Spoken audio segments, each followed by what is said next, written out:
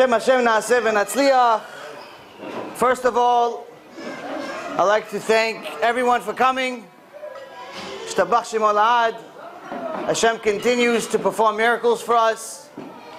Where uh, it wasn't too long ago we didn't even know whether the Torah was real, whether Hashem was real, whether anything in life was real. And Baruch Hashem today, we're surrounded by amazing students, our amazing family, amazing Kala with Baruch Hashem two children now that observe Torah mitzvot ve'gmilut chasadim on a daily basis. And uh, like Yaakov Avinu said to Hashem, katonti, mikol chasadim. Hashem, you're giving me too much, Baruch Hashem. So in uh, honor of my new son, Ovadia, I, uh, I'd like to say a few things. And also, thank my parents for uh, coming here, for holding all of this, making all of this happen, Baruch Hashem. Not only bringing us to the world, but supporting us all the way till today, Baruch Hashem. Thank my brothers from coming from all over the country. Amazing, with their families, with kids. Bezrat Hashem, rak bismachot. Only celebrations. We see each other, we celebrate Bezrat Hashem. My amazing Kala, who has been with me for almost 15 years now, fighting the battles, whether it was on Wall Street or it was uh, the fight for the Kvod Hashem that we fight every single day. My amazing Kala has never stopped giving. She continues to give. The biggest tzadikah I've ever met, and mamash, it's a, it's truly amazing that uh, she's still with me. you know, and uh, Baruch Hashem.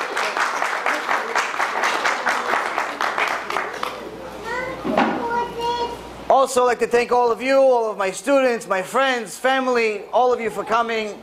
It's truly amazing to see all of you.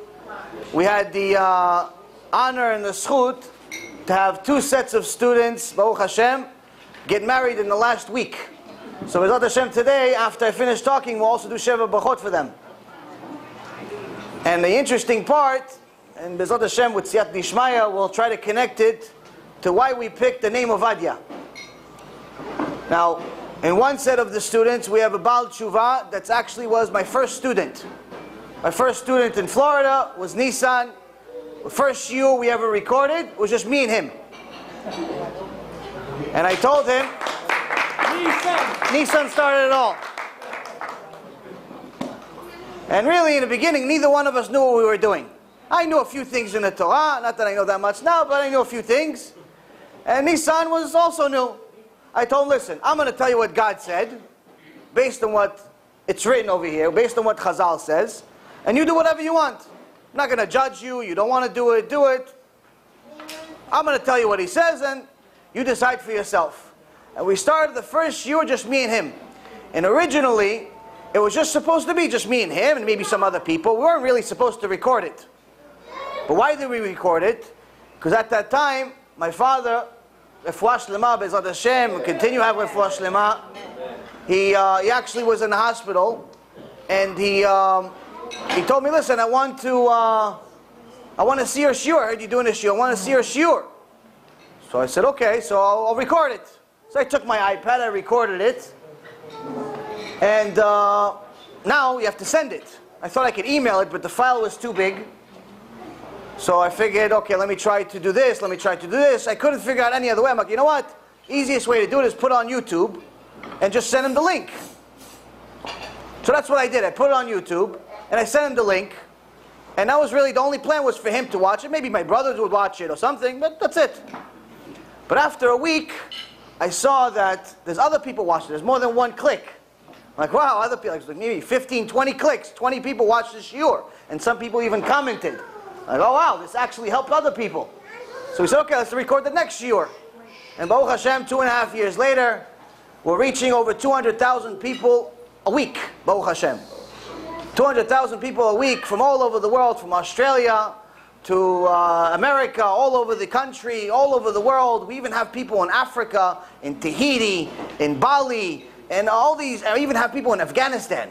Bombay. Mamash, in Bombay. I mean, it's unbelievable. And we have amazing people. In India, we have Baruch Hashem. And we have amazing people, like some of our students, Baruch Hashem, that are helping us get reach people, spread it on the internet, do everything they can. Mesirut nefesh. Each one of these helpers, Baruch Hashem, there's so many of them that Ken Yirbu will have many, many more even. But they continue to publicize the Torah, whether it's Facebook or it's Twitter or it's this or it's that. We're constantly reaching more and more people, and there's constantly more messages, and more people doing tshuva, more people converting, more people getting closer and closer to Hashem Barach, and it's changing their life. And this is all teamwork. But of course, all of it starts with Bezrat Hashem. That's what we call the company, the organization Bezrat Hashem, because it's all about Bezrat Hashem. So we have the first student that started it all. And as the Rav said earlier today, that when the first person that shows up to Minyan, the first person, he gets the zchut for the entire Minyan. It's like he prayed ten times. Rav Aaron Zev, Baruch Hashem, is a huge Talmid Chacham. We've learned so much from him. We continue to learn from him. We had the zchut. And uh, thanks to my father, Baruch Hashem, to bring him here, to be the Mohel, to give us some Divrei Torah. Him and his Rabbanit have really influenced our life in a, such a big way. It's just, honestly, you just sit next to him, you do tshuva. You don't have to do anything. Just sit next to him, you do tshuva. Amazing. So, you learn things just by listening to what he says. Regular conversation. And that's actually what the Gemara says. Gemara says, aside from learning from the books, and aside from learning from the lectures, it's very important for each person to connect themselves to a tzaddik and stay next to him. Just listen to how he handles his life, how he goes to the store, how he treats his kids, how he treats his wife, even how he goes to the bathroom. Because you have to be modest. You have to be modest when you go to the bathroom. You can't be like a uh, animal. So when you sit next to Aaron Zev, Baruch Hashem, Rabbi Aaron Zev is such an amazing midot. You already do tshuva at least one or two midot every two minutes. So now, this was one set of students, Baruch Hashem, two and a half years ago. He told me that uh, he wants to get married, Baruch Hashem. And we had the privilege, Baruch Hashem, to see the wedding just in, uh, yesterday. Yesterday, Baruch Hashem had the wedding, and it's uh, mamash amazing. The funny thing is about this wedding, uh, the Siyata Dishmaya, is that they tell me that they've been next door neighbors the whole time. They just never knew each other existed until Hashem wanted them to see it. Just like when Hagar, the uh, Shifcha of Avraham Avinu, when she went into the desert, she started crying to Hashem, there's no water. So Hashem said, send her angels. Said, look, look, there's a well over here. And Chazal say, you know, the well was always there. Hashem didn't create a well. It was right there the whole time. But she didn't see it. Why? Because you could only see things if Hashem allows. It can be right next to you, but you can't see it sometimes. So you have to have the siyata dishmaya to see even something that's right in front of you. The other couple, Baruch Hashem, both amazing students, one Baal Tshuva, one a convert, and this is the one that I told you about that we went to the Bet Din. The Bet Din was so impressed at how much she knew that they kept asking a question. They said, you already, you already passed the test, but we just want to know how much you know.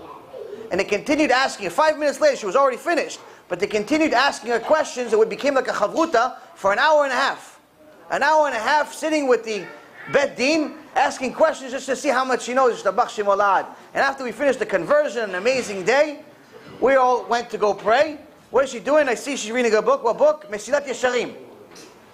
Find me, find me people like this. Find me more people like this. Ashrei Am Yisrael. You know, it's, it's mamash amazing. She's reading Mesilat Yesharim after the conversion. You know, after the conversion, you usually want to relax, go to sleep, I don't know, go celebrate. What do you do? It's reading Mesilat Yesharim. Tzadikah, Baruch Hashem. And the tzaddik that's with us also now, he actually is working with us at Bezrat Hashem, helping us on a daily basis, Baruch Hashem. So, Baruch Hashem, we have privilege to see and be part of amazing lives, amazing tshuva stories. Now, many people that know the name of Ovadia immediately think of Ovadia Yosef, Rav Ovadia Yosef, Zecher Tzadik V'Kadosh Livracha, who we lost just a few years ago. And everyone knows whether you're Ashkenazi or Sephardi or whatever you are, everyone knows, everyone agrees you is one of the giants of giants, one of the giants of all generations. But there's also a prophet Ovadia. And many people don't know the story of Pro- Prophet Ovadia because it's not such a big book. It's actually in your basic Tanakh, maybe one page, two pages. It's one nevuah, it's one prophecy of what's going to happen at the end of times, of how Hashem is going to punish the enemies of Israel. The enemies of Israel. Well, Hashem, we have many enemies we've collected through the last few thousand years. And Hashem is told Ovadia, the prophet Ovadia, how he's going to punish them. But who is this Ovadia? Why did he get such a zchut to become a prophet? Why did he get such a zchut to have one of the 24 books in the Torah about his life? I don't have a book. There's no book, says Yaron. There's no book. He has a book. Why? So Ovadia originally wasn't Jewish. Ovadia was actually working at the kinghood, the kingdom of the Oivim, of the enemies. Where the king, the wicked king, decided after listening to his wife Izevil to kill all the prophets, kill all the prophets of Am Yisrael.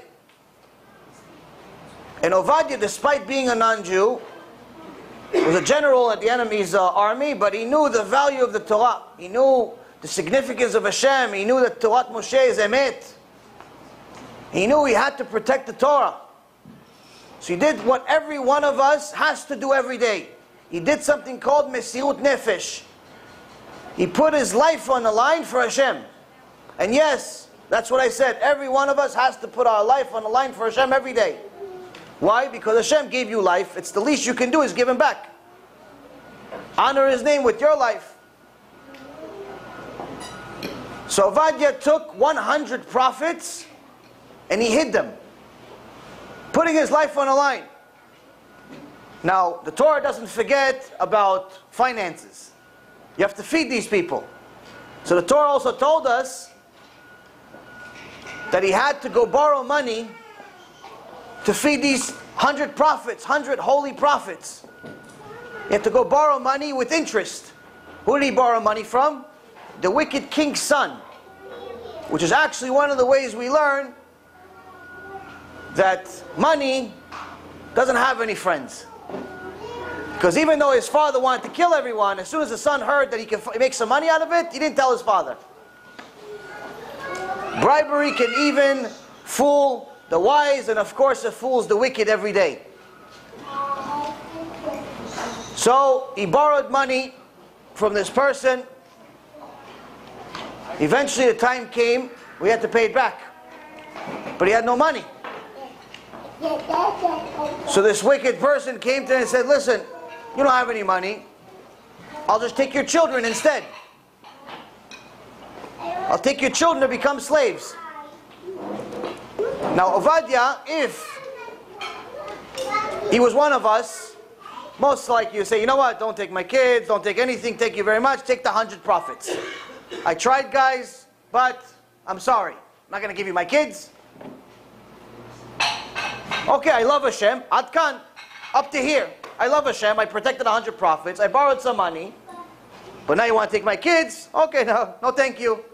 Take the hundred prophets. or you know what? Take 50 and 50 next week. Maybe I'll get some, maybe I'll get down payment. But for Kvod Hashem, for Kvod Hashem to continue, to continue the lineage, to continue getting direct messages from Hashem Barach, He gave him his children. He gave him the children just to make sure that we have more prophets, that we have more of a connection to Hashem Barach, and as a schal, as a reward for this extraordinary mesirut nefesh, Hashem blessed him with prophecy. He made him a prophet. He said, You protect the prophets, midah keneged midah. Measure for measure, I'll make you a prophet. You honor my prophets, I'll make you a prophet. And with that zchut, he became one of the few people that's mentioned in the Torah. And we had prophecy for many, many more years because of him. And obviously he converted, became a Ger Tzedek. Now, Rav Ovadia, Zecher Tzadik Livracha, was very similar in different ways. There's many chachamim in Am Yisrael. There's many chachamim. Baruch Hashem, there's no shortage of chachamim. There's no shortage of chachamim, whether they're secular or religious. There's many chachamim. There's many people that are wise. Even in the Torah world, even today, there's many chachamim. One of the sages say that even today, we have people with wisdom like the Geonim. But because they have bad midot, Hashem doesn't show them how much wisdom they have. There's many people that have chokhmah.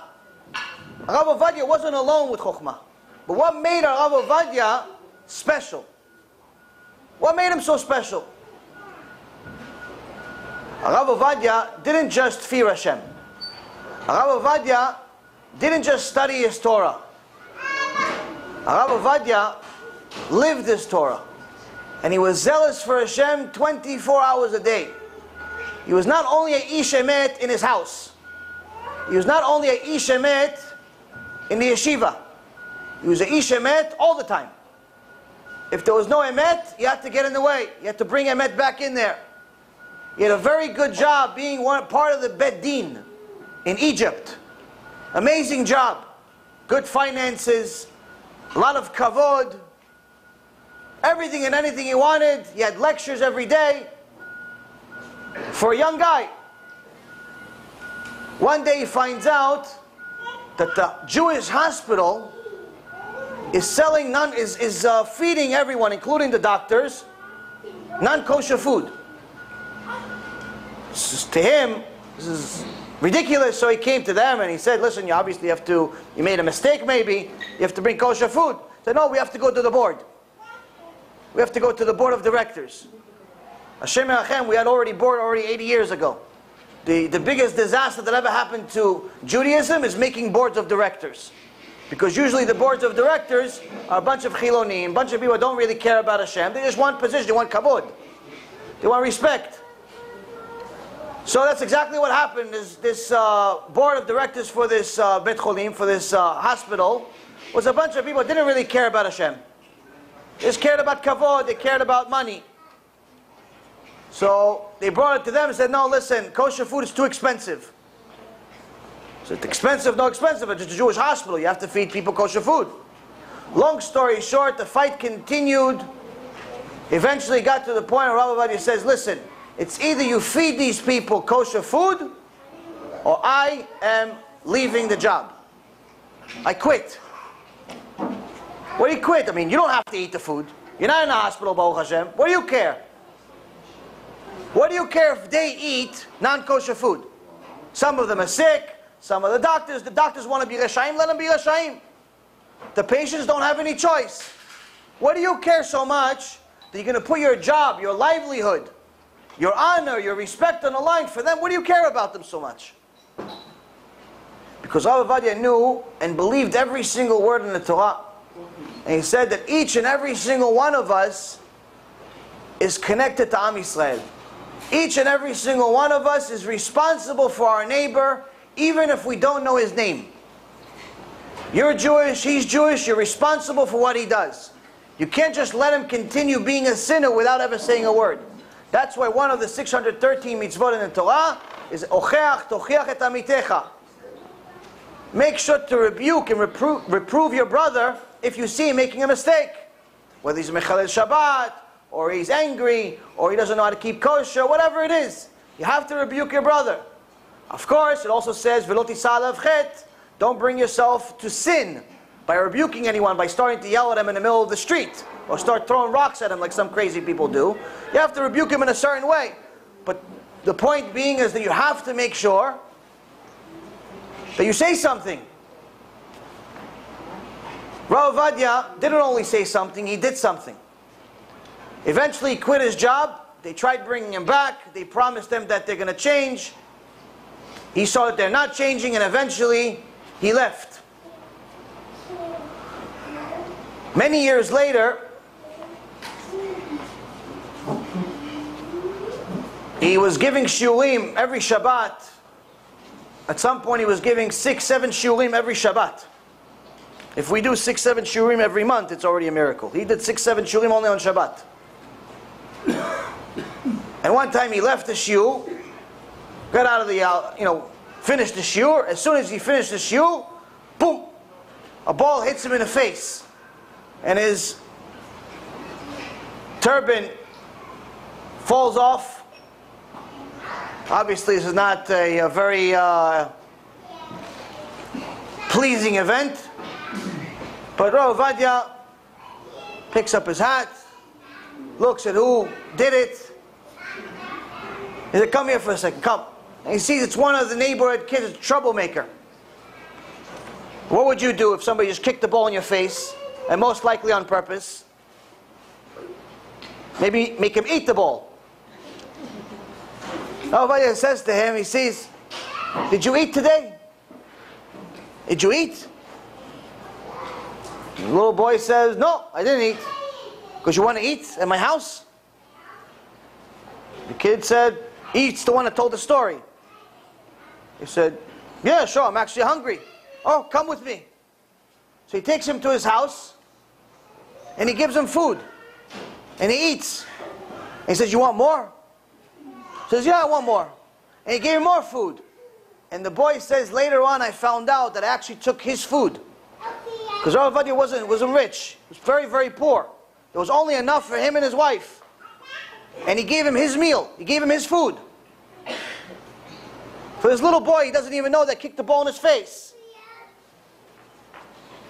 So he said, You're tired? You want to rest maybe? So, okay, I'll rest. So he went and rested. Shabbat was over, and Ovadia says, Okay, what do you want to do now? He adopted this little boy already. What do you want to do now? He goes, I want to, I want to go to the cinema. Okay, you have money for the cinema? He goes, no, I don't have any money. Kid's as poor as it gets. He goes, what is it? One lira. And again, like I said, Rav Ovadia himself is poor. He's like, oh, I'm going to give you one lira, but you have to promise me that next week you make sure that everyone else is over there is quiet when I'm giving a shiur. And you come back to me and you eat with me again next week. For sure, yes, for the Rav, I'll do it. Okay. He gave him the lira. He went to the cinema. And the next week, as soon as Rav comes to the shul, the boy is already ready. He's like, hey, for the Rav, everyone's going to be quiet. I'll make sure everybody's quiet over here. The Rav gave the shiur, comes out of the shiur. The boy is excited and waiting for having a meal with the Rav. He doesn't even know who he's talking to, Bichlal. He's just, you know, the Rav gave him food. And he goes with him and he eats with them, And little by little, he starts learning with them. And although the book, this is one of uh, the stories that's actually in the bio of Rav Ovadia, the book doesn't say the name because of the honor of who this person came to be. They say that the little boy became one of Gdolei Hador, one of the heads of the Beit Din in Israel. Why? Because Rav Ovadia cared. That's it. All you have to do is care a little bit.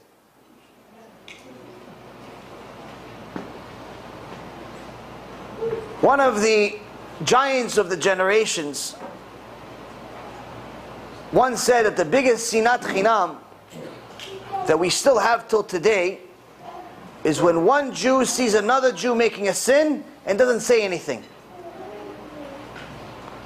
Rabbi Yonatan Eibeshitz says this because he says everyone thinks that sinat chinam is the, because maybe the Ashkenazi doesn't like the Sephardi or the Sephardi doesn't like the Ashkenazi or the Litvish doesn't like this. No, no, that's not sinat chinam. The sinat chinam, the biggest one we still have is when we see each other Mechalel Shabbat, not eating kosher, not doing this, not doing that. We don't say anything. That's sinat chinam. Why? Because one of you knows that it's a problem. Someone's a Mechalel Shabbat. In essence, what he's doing every time he turns on the car, he's turning on an atomic bomb in his Olam Haba. So one day he's going to get to this Olam Haba after 120 and he sees only destruction. I say, hey, what kind of Olam Haba is this? You said in the Gemara, Masechet Sanhedrin, Kol Yisrael Yisrael Chelek Olam Haba. He said, everybody's Chelek Olam Haba. What, what kind of olam haba is this? Destruction, destruction, destruction. What is this? The building, there used to be a nice building here. Oh yeah, yeah, destroyed. It turned into lava instead. What happened? What kind of olam haba is this? He goes, yeah, you did it. When? And they're going to show him a movie. Show him a movie of all the atomic bombs he ignited himself every time he turned on the car, played with the phone, ripped paper, all the different things of Shabbat that we are not allowed to do. You created yourself. So now if you know, Baruch Hashem, you know how to keep Shabbat, you're learning halachot Shabbat, you're observing Shabbat, you have a friend, you have a family doesn't keep Shabbat, you tell them, listen, come eat. You hungry? You eat anyway, right? It's free. Don't worry, I won't charge you for the food. You eat anyway. Either way you eat. Whether it's Shabbat or it's Yom Shani, doesn't make a difference. You eat, right? So come to my house and eat. And once they get to your house, try to keep them there for as long as possible. Give them some cholent so they fall asleep till Motzei Shabbat. Give as much kosher food as possible. Eventually the kosher food will turn into their blood, and eventually they're going to give you enough time to bring them back to Hashem. But sometimes you have to convince people in different ways. But that was the Gdullah of Arav Ovadia. Regardless of how big he was, regardless of the fact that he already knew more Torah when he was 10 years old than probably most people in the world today. When he was 10 years old, his father took him to Baghdad with him. And little Ovadia went to the Kollel and he was sitting down with a bunch of old men overhearing their shiur. And uh, eventually he says to them, you know, that uh, what you're saying right now is wrong. You're not understanding the Mishnah correctly. So one of the older men said, hey, hey chatzuf, hey, rude little person, you 10 years old going to tell us how to study? One of the other ones was actually a Talmid Chacham. He said, hey, hey, hold on a second. His 10-year-old said that we're wrong. Maybe he's right. How are we wrong? How are we wrong? And Rav Ovadia says, little Ovadia now, 10 years old, he says, yeah, the Tosfot, which is one of the commentaries, actually what he says, and he starts reciting it by heart. By heart, the Tosfot. It's his commentary on commentary. This is like, you know, the small print. This is the small print on the small print. He remembers that by heart. Immediately, one of the older men got off the chair and started running. Ran out of the yeshiva, looking for the head Rav. He says to him one of the sayings that's in the Gemara, where Resh Lakish says to uh, Rabban Yochanan, a lion came from Israel to Bavel. This little 10 year old. And the head Rav comes to him and he says, You study Mishnah? Nah, just a little bit. Because in the Gemara Baba Metzia it says that you're allowed to lie about how much you know, meaning to be humble, to say you know less than what you really do. This I also learned from Rav Zev.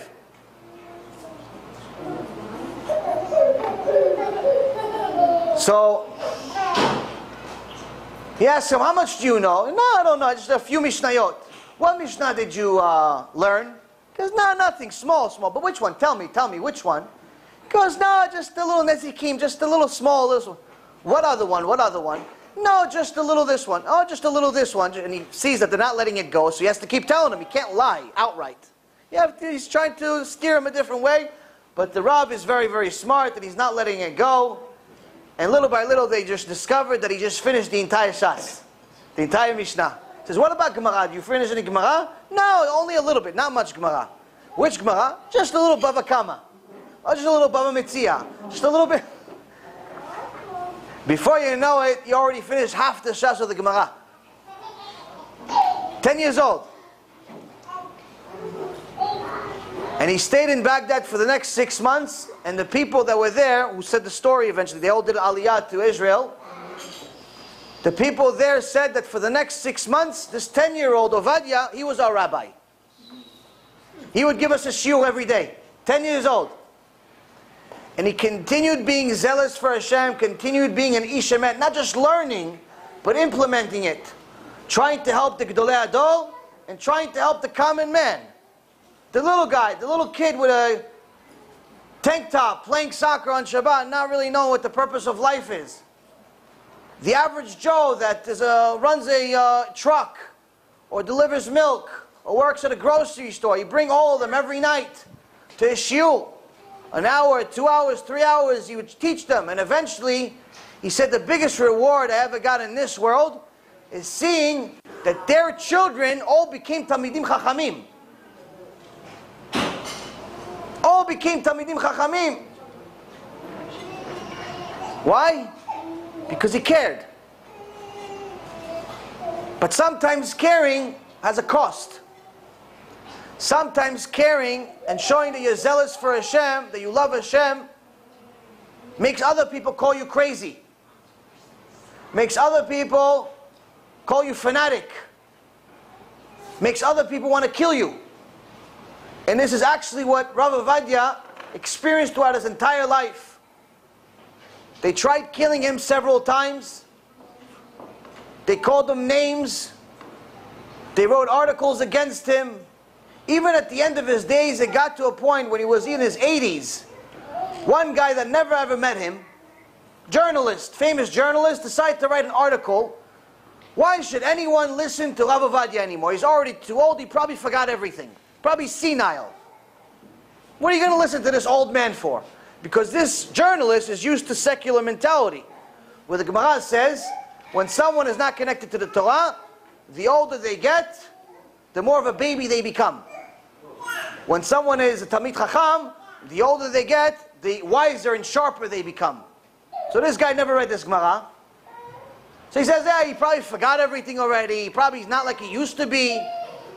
So even though Rav Ovadia never really cared about articles or anything like that, he actually cared about this one. He said, you know what, why don't you invite this guy to my house? Come to the head Rav of, Israel, of Israel's house. Immediately the guy came. And uh, he says then yes, you, uh, I saw you wrote an article about me. And he said that I forgot everything. What made you, what made you say that? Did, did I tell you that? Because no, you never said it. So what made you think that I forgot everything? Because come on, you know, the with all due respect, you know, you're older, it's, you're already over 80 years old. Everybody forgets everything already when they're 70. I'm giving you credit. Like he's doing him a tova. He's doing him a favor. He goes, okay, let's test. Can we test it? He goes, no, the you know, I don't want to embarrass you. You don't need to test anything. It's fine. I already wrote the article. What do you care? He goes, but can we test it? Do you care? It doesn't cost you anything. It's free. Okay, well, how do you want to test it? He goes, look at my library. Some say there was 20,000, some say there's 60,000 books. I don't really know. All I know is there's many, many thousands. Tens of thousands of books in his library. There was no walls. Big house, no walls. And he says, pick any book you want, any one of them. Doesn't matter which one. Just tell me the title of the book. Open the book anywhere you want. And just don't tell me the page, just anywhere. Tell me the first word. First word. That's it. And the guy said, listen, even if you had good memory, even if you were 25 years old, not 85 years old, 25 years old, it's still ridiculous. Even a computer doesn't remember that. You type on a computer, takes at least uh, a few minutes to figure something like that out. But anyway, fine, to entertain you, I'll go do it. So he goes, he thinks maybe it's a trick. So he climbs the ladder to try to get one of the books all the way in the back that still has dust on it, so he knows he has, obviously, if it has dust on it, he hasn't touched it in many years, at least many months. So he picks a book all the way in the back, gives him the title, opens the book, and Rav Ovadia repeats every single word on that page and continues and continues. He says, oh, wait, hold on a second. This is not normal. Let's try another one. And he picks another book somewhere else. Maybe it was a trick. Opens the book, and Rav Ovadia repeats every single word verbatim on the page. The journalist was so amazed he had to write another article. He says in this new article, not only was I wrong, which is first time in history, by the way, any journalist ever said they were wrong. Not only was I wrong about his memory, but the memory actually has is not human. Not human. And Rabbi Ovadia was as sharp as can possibly be until his last day, and he fought for the truth until his last day. If he saw there was Rashaim, even if there were heads of government, when the head of the government of Israel, the head, number one, did something against Am Yisrael, he cursed him in public. He said, may he sleep and never wake up. And that's what happened.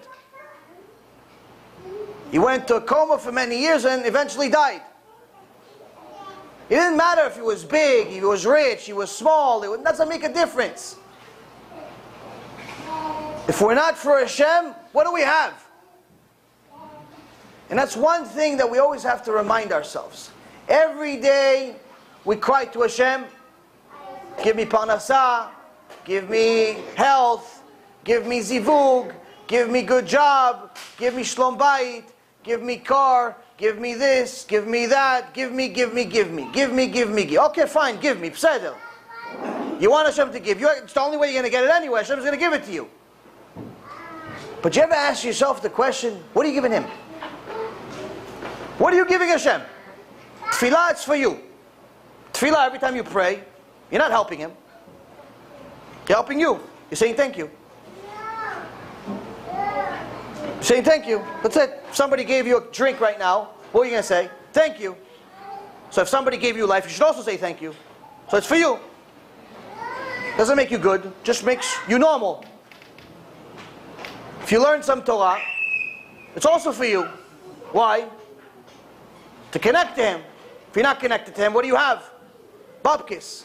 You have nothing. So it's also for you. Children, for you. He already has millions and millions and millions.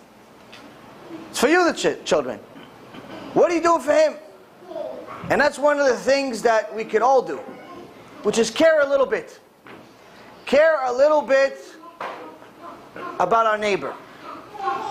And the one major similarity that you have between the convert and the Baal Tshuva is in essence they're both exactly the same. The Baal Tshuva and the convert are exactly the same, if they're real. And the reason why is because before the ger, before the convert became a, a convert, could have been anything. Could have been an idol worshiper. Could have been a uh, just a Noahide. Could have been righteous. Could have been not righteous. Could have been anything. There's some righteous non-Jews. There's some righteous. There's some uh, not you know wicked ones. The Jew, on the other hand, before he had Hashem, he couldn't be righteous. There's no such thing as righteous without Hashem.